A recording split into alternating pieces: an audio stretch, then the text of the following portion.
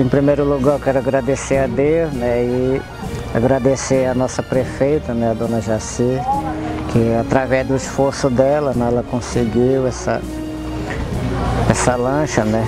Isso aí é muito importante para nós, né? Que, e já saindo assim nas vilas, isso se torna muito melhor para nós, né? Já facilita mais para o povo, né?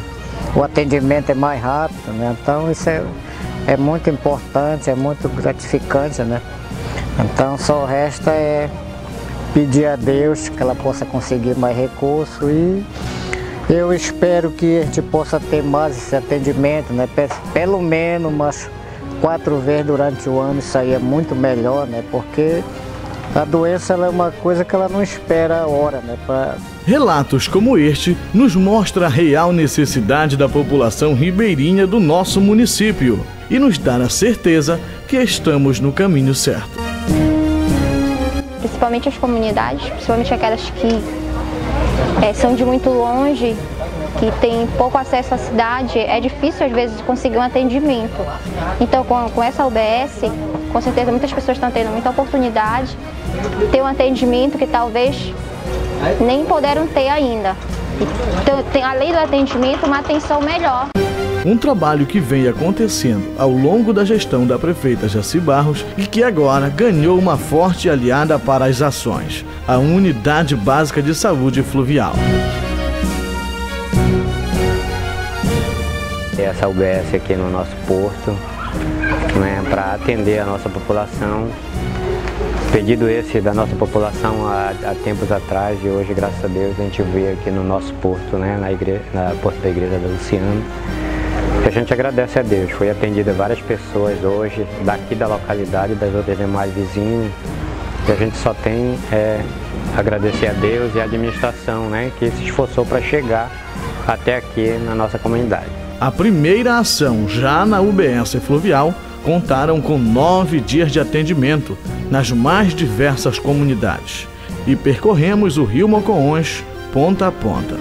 Boca do Francês, Monte Moriá, Monte Sião, Vila Timbó, Nossa Senhora Aparecida, Vila Luciana e Vila das Cruzes. Veio para facilitar a nossa vida aqui, né? Nós passamos por outros mandatos aí há quatro anos atrás, pelo menos isso não aconteceu nenhuma vez, né? E hoje nós estamos recebendo aqui uma, é uma, ter um atendimento de qualidade, né? Com médico, dentista aí, graças a Deus aí trazendo esses benefícios para nós, né? Eu agradeço muito a, a prefeita aí pelo esse esforço, esse empenho aí que ela fez, né? Pelo povo aqui dessa, pelo povo ribeirinho da localidade aqui de Anajar, né? Principalmente, todo mundo precisa, né? A cada lugar uma história, porém a alegria e a gratidão em receber os serviços ofertados pela gestão municipal foi o que mais nos chamou a atenção.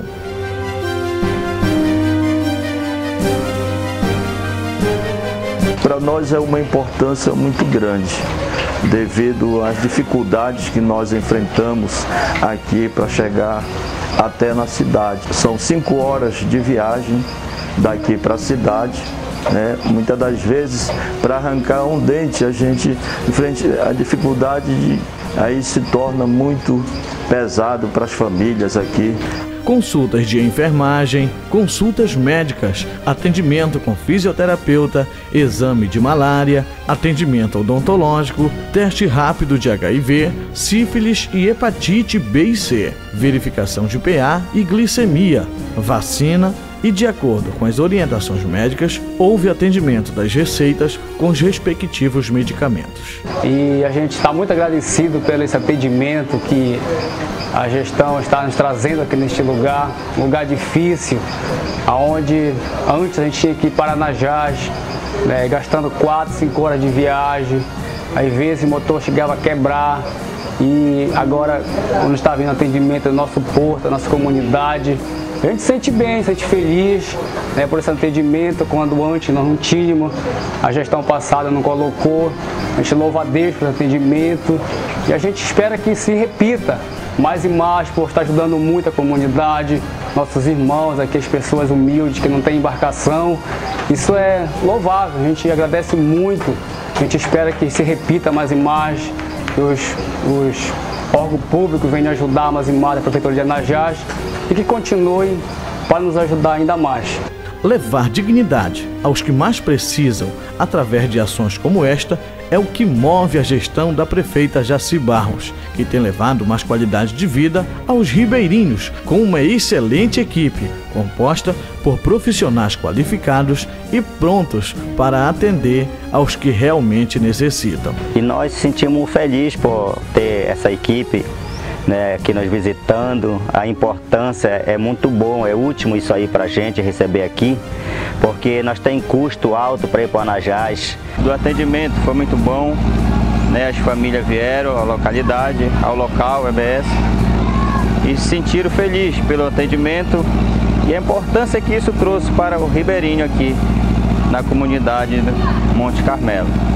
É a gestão municipal cuidando do presente e investindo no futuro da nossa gente. Prefeitura Municipal de Anajás, União do Povo Anajaense. Prefeita Jaci Barros.